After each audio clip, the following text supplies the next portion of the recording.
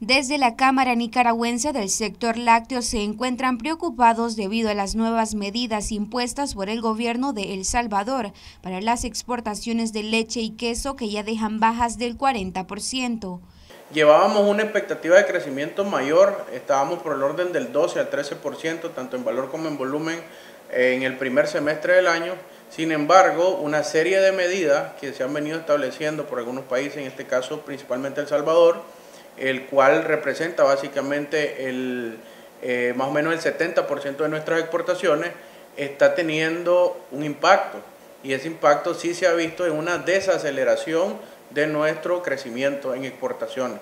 Eh, en este momento hemos, hemos tenido una caída eh, casi de un 40% del el crecimiento que veníamos teniendo. Sin embargo, siempre nos mantenemos por encima de la meta que nos habíamos establecido pero pues eh, consideramos de que este tipo de medidas y afectaciones no deberían de persistir, eh, aun cuando estamos en un proceso de integración centroamericana que nos afecta directamente. Sin embargo, nosotros no podemos eh, permitir de que todo el esfuerzo que se ha hecho, tiempo, dinero, que, han, que en lo que han incurrido todos los estados de la Unión Aduanera Centroamericana, pues se pierdan porque al final del día son esfuerzos en los que también la empresa privada ha participado, ¿verdad? Y, consideramos de que esto ha facilitado de que muchos empresarios nicaragüenses y muchos inversionistas extranjeros vengan a nuestro país y aprovechen las oportunidades que presenta nuestra, nuestra, nuestra ganadería.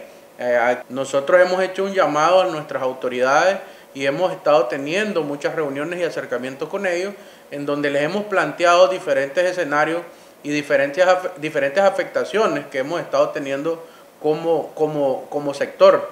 Inclusive el trato desigual que recibimos en, en, cuanto a cómo están tratando las exportaciones de origen nicaragüense versus cómo están tratando las exportaciones de origen, eh, importaciones que hace El Salvador de origen hondureño. Y, e inclusive es violatorio según la Organización Mundial de Comercio.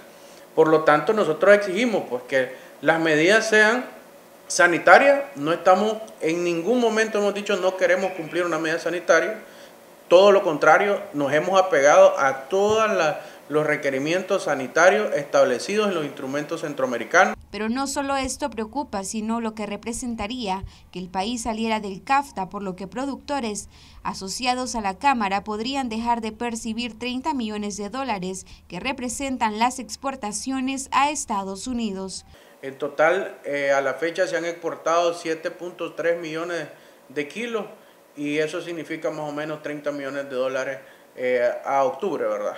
Entonces, sí, sí tenemos una participación importante dentro de, dentro de nuestras exportaciones como un mercado destino, ¿verdad? Entonces, eh, quitarle 30 millones de exportación a Nicaragua en productos lácteos creo que sí podría tener una repercusión. Para Noticias 12, Gabriela Solórzano.